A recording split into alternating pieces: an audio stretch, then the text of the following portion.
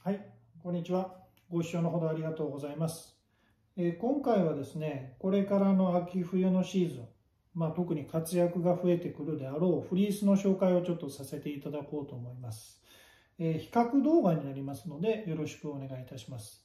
でまずはじめに紹介させていただくブランド、これもすでに有名なんですけど、フーディーニというブランド、北欧のスウェーデンですね。でこちらにあります商品も実は同じくフーディーニの商品なんで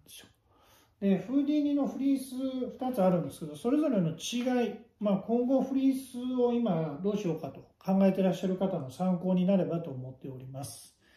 はい、よろしくお願いします。で、えー、まずこちらの商品なんですけど、これはパワージャケットというもので、えー、フーディーニが最も代表する作品と言っても過言ではないかなと思います。パワージャケットやパワーフーディーといった商品があるんですけど、まあ簡単にフードがついてるのとついてないのの違いだけです。こちらはフードがついてないタイプにしております。まあ、その理由としてはコンパクトさっていうことと、まあ、フードって他のものについてたりするので、フード、フードが重ならないようにっていうことでフードなしにしてます。あと、他の洋服とのあの一般的な私服で使う場合なんかも考えてね、あえてそうしております。はい。で、こちらの歌い文句としては、魔法のような軽さと着心地というふうに言われてるだけあって、実際に袖を通して着てみますと、ものすごく、えー、柔らかい、そしてもちもちして、で、かつ暖かい。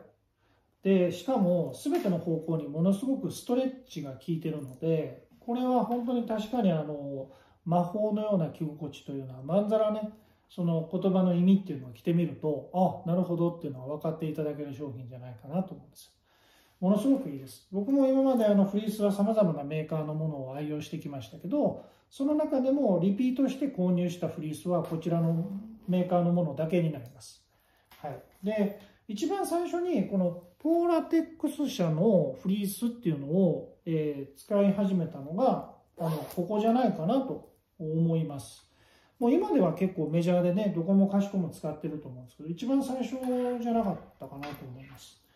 はい。で、こちらを購入するにあたって、店舗で購入したんですけど、その店員さんとお話ししてましたら、店員さんお二人とね、僕一人で3人で話してたんですけど、お二人とも自宅の室内でも使ってますというふうにおっしゃってたように、僕も後々結局、外で着るんじゃなくて自宅でも着てました部屋着としても全然使えますし実際この以前のモデル僕パワージャケットこれ愛用してきてたんですけど買い替えたんですよ。このアウトライトジャケットにね。まあ、9年愛用してきた中で非常に頻繁に出番が多くて自宅でも着てましたし特に傷むこともなかったです、はい、ただこのロゴとかはねプリントされてるんでこれも剥がれ落ちたり劣化はしてきます、まあ、それ以外は特に若干こう内側のここの袖の付近に毛玉ができるぐらいですかね、まあ、これはねてたら必ずできるものなので仕方がないかなと思いますでちなみに簡単なスペックを紹介しておくとこのダブルジップになってますので、まあ、行動中に暑いなと思ったらこれを開閉して、えー、調整したり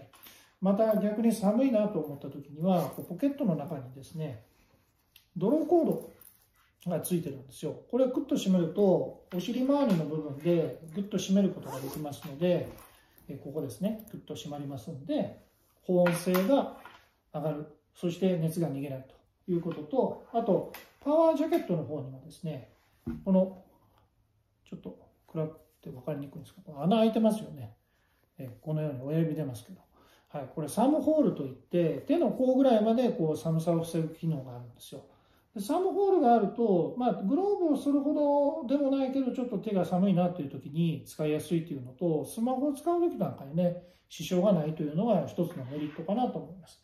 で、あと注意点。サイズを選ばれる際、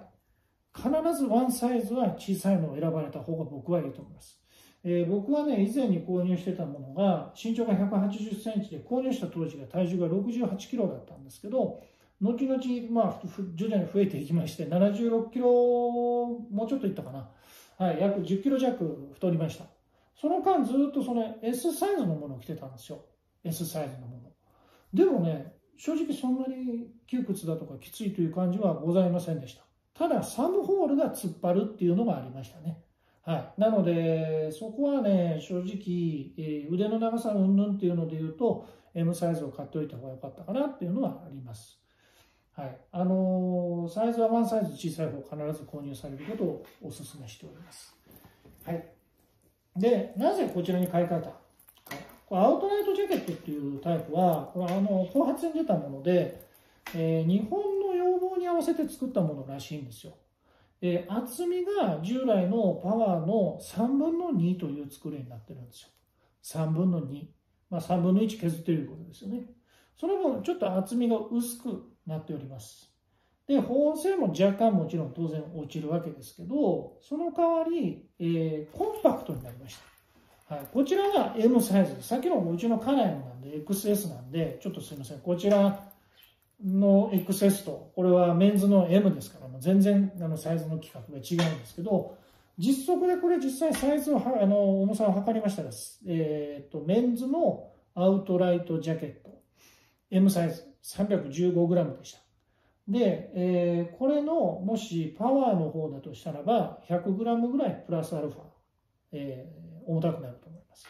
それと、こちらを購入した最もの理由はバックパックに詰めるということなんですよ。フリースをバックパックに詰めるときに皆さんの問題を感じられる方多いと思うんですけど、結構コンパクトにならないんですよね、フリースって。持っていくと天場でやっぱり快適に過ごせるし、あったら便利なんですけど、持っていく際が煩わしいっていうのでね、バックパックのスペース云々っていうのを皆さん危惧されるところじゃないかなと思うんですよ。僕も実はそれはね、使っていくうちに徐々に感じてきてたところで、生地が3分の2になったことでコンパクトになってより軽くなったというところと、あと使えるシーズンの期間が長くなりますよね。まあ、夏の北アルプスで、えっと、7月、8月でもこれね、ザックの中に入れて持っていくと、天場でくつろぐときに非常に快適に過ごせるし、えー、シュラフの中に入るときもこれを着たまま寝るっていうね、こともできますから、ものすごく快適だと思うんですよ。はい。で、もう一度簡単にデメリットとメリットをおさらいしておくとですね、こちらはもちもちでふわふわで暖かくてすごくいいんだけど、パワージャケットの方がですね。ただ、厚みがあると、かさばりますよというのが反面のデメリットなんですよ。で、こちらのアウトライトジャケットはその生地を薄くした分、えー、若干コンパクトになって、えー、まあ、持ち運びはしやすいと。ただし、保温性は若干落ちるので、車で行くようなキャンプスタイルで選ばれる方に関しては、このパワージャケット。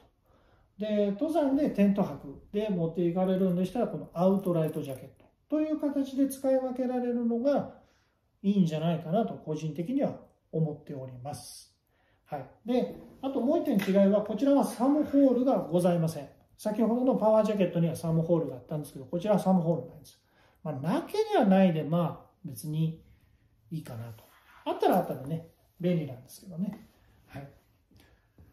といったところです。なので、これからちょっとフリースを買い替えたり、または新たに新調しようとしている方々の少しでも参考になったり、何かお役に立てたりしたらいいんじゃないかなと思って、この動画を作らせていただいております。はい。ご視聴のほどどうもありがとうございました。